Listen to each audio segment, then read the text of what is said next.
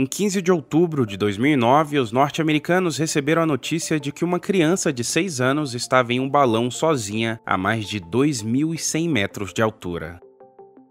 Foi mobilizada uma equipe enorme de resgate, que envolveu até a Guarda Nacional daquele país. O que se sabia na época era que o pai da criança, o senhor Richard Hinn, estava trabalhando na construção de um pequeno balão a gás hélio, que deixava amarrado em seu quintal.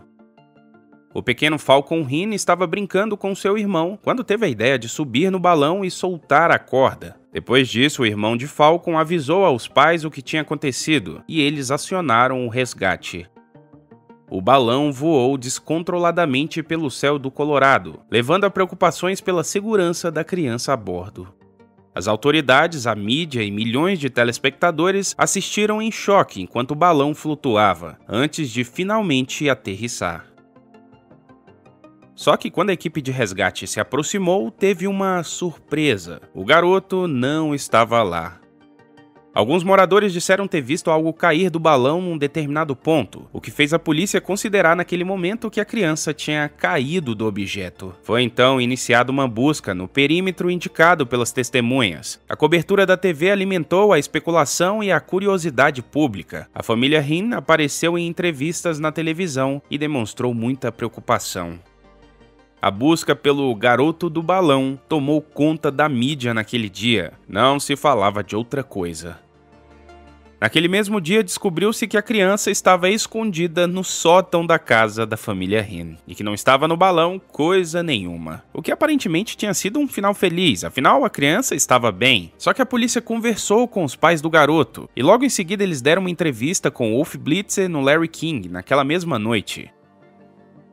O garoto Falcon, em conversa com o pai, soltou que eles tinham feito aquilo para um programa de TV. O garoto de 6 anos revelou sem querer que os Hines haviam encenado o incidente para um golpe publicitário. We did this for the show. Yeah. Não. Além disso, descobriu-se que a família já tinha participado de um reality show chamado Troca de Esposas e que estava tentando participar de outros.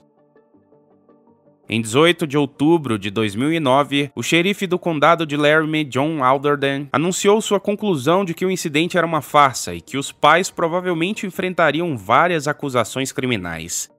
Em 13 de novembro de 2009, Richard Hinn se declarou culpado. Ele foi condenado a 90 dias de prisão e a pagar 36 mil dólares em restituição aos gastos realizados nas buscas. Mayumi Hime, a mãe, foi condenada a 20 dias de prisão.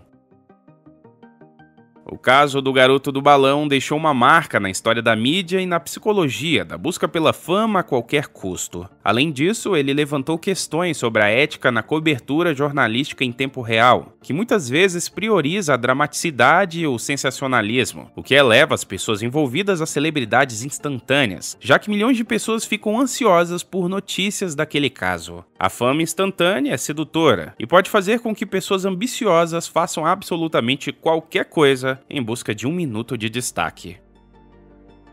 Atualmente, o garoto Falcon é um adolescente de 19 anos. Ele diz não se lembrar muito daquele dia.